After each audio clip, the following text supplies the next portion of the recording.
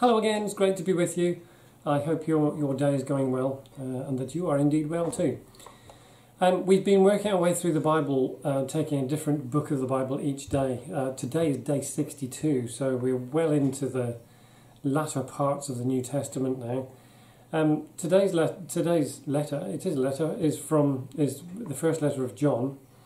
I have to confess, I was very tempted to take the next three parts of the, the New Testament as one study because they're quite short and they're all written by the same author, uh, the Apostle John, the disciple whom Jesus loved, as he put it in his Gospel.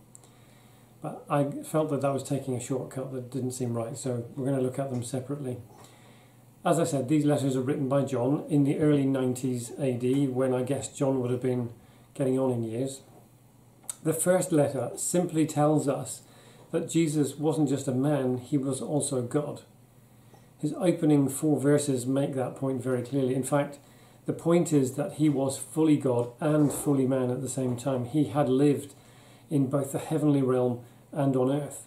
It teaches us that when we live a godly life, there is nothing that Jesus cannot understand because he's experienced it all. He knows what it is to be human. And that should help us to place our trust in him.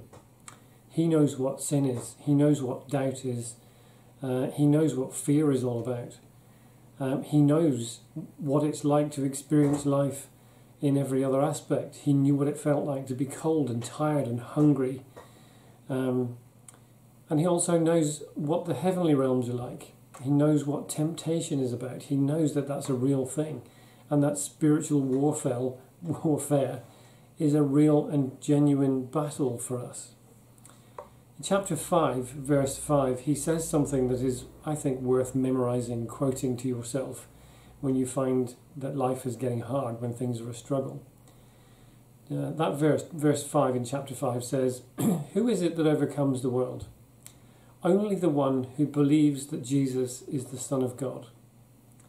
And whilst it's not healthy or even accurate to think that there are demons behind, hiding behind every lamppost uh, waiting to pounce on us, Satan exists, and so do his cohorts. We know that not just because John talks about it in this letter, but because Jesus did too. You've only got to look in Matthew chapter 4, John chapter 8, uh, Mark chapter 5, I think, just to mention a few places, and you'll see what Jesus had to say. But John gave us the greatest weapons in our struggle against temptation and the powers of darkness. He says, You, dear children, are from God and have overcome them, because the one who is in you is greater than the one who is in the world. It's a recognition that when you're filled with the Holy Spirit, you're filled with all the powers of heaven. There is nothing left that can overcome that. You may uh, suffer persecution, you may be hurt in body or mind, but your spirit can never be harmed. So, let's take those thoughts and just pray, shall we? Lord Jesus, we thank you for, for the gift of your Spirit. Thank you for his presence within us. I pray, Lord, that you bless us to hold to the truth that he who dwells within us is more powerful than he who dwells in the world. Thank you that in you we have authority to overcome evil and the power to stand in faith through every battle. So I pray, Lord, that you bless us to, uh, to know the depth and strength of that knowledge. So again, Lord, we ask that you pour your Spirit out upon us. In Jesus' name. Amen. Have a great day.